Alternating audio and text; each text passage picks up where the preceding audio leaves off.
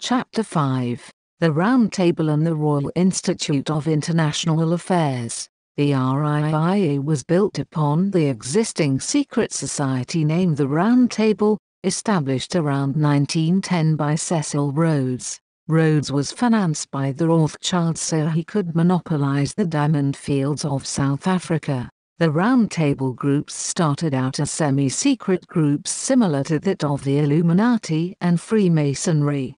The groups are the British Royal Institute for International Affairs, the CFR, the Bilderberg Group, the Club of Rome and the Trilateral Commission.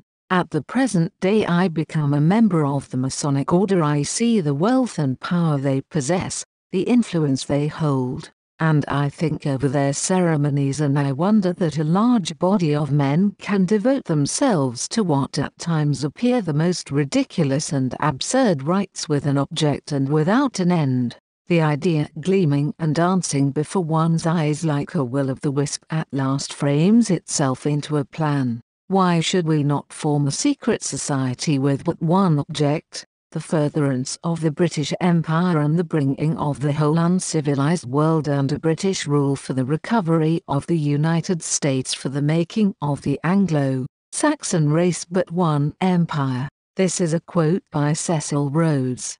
Dr. John Coleman wrote that armed with immense wealth gained from the control of gold, diamonds and drugs, roundtablers fanned out throughout the world to take control of fiscal and monetary policies and political leadership in all countries where they operated.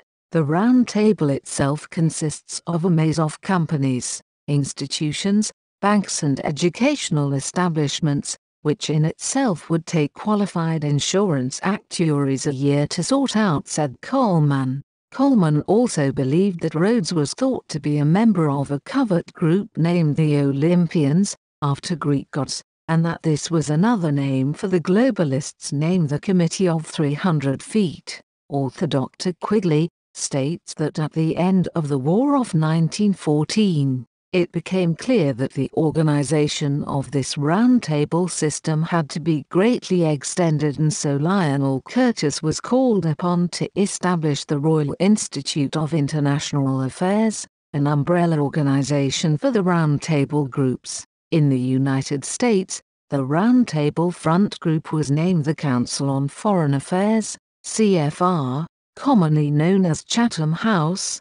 The RIIA is a non-profit, non-governmental organization based in London. Its mission is to analyze and promote the understanding of major international issues and current affairs. In the University of Pennsylvania's 2015 Global Go-To Think Tanks report, it is ranked as the second most influential think tank in the world. Its aim is to promote debate on significant developments in international affairs and policy responses. It is routinely used as a source of information for media companies seeking background or experts upon matters involving major international issues. It is membership based and anyone can join. In addition to corporate members consisting of government departments, large corporations, academic institutions, investment banks, NGOs, energy companies etc.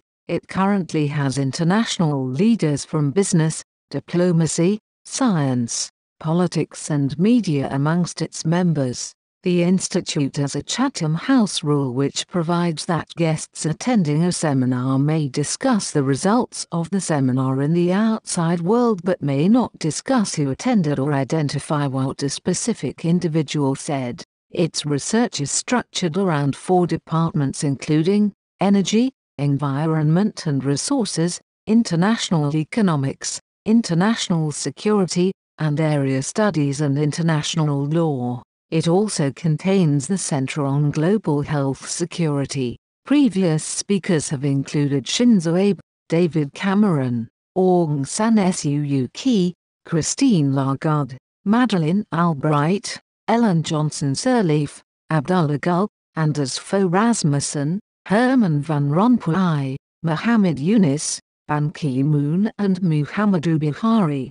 The Chatham House Prize is an annual award presented to the statesperson or organization deemed by Chatham House members to have made the most significant contribution to the improvement of international relations in the previous year. Some winners have included Secretary of State John Kerry in 2016, co-founder of the Bill and Melinda Gates Foundation, Melinda French Gates in 2014 and Secretary of State Hillary Clinton in 2013. The Royal Institute of International Affairs found its origins in a meeting held by Lionel Curtis of the American and British delegates to the Paris Peace Conference in May of 1919.